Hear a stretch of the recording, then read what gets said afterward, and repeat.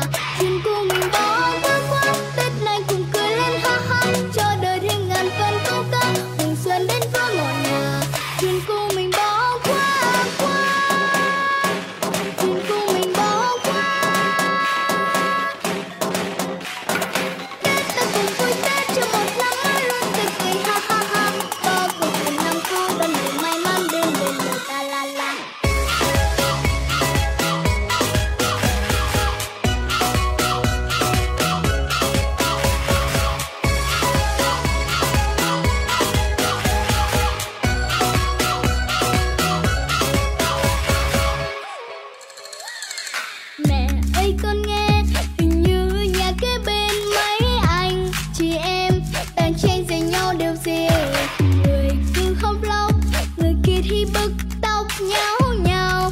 Cả phố, ai ai cũng xa nhìn.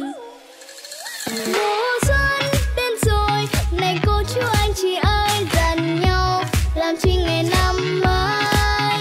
Một năm bên chị lại ghé thăm một lần làng phí chấp nhau để làm gì. Chuyện cũ mình bỏ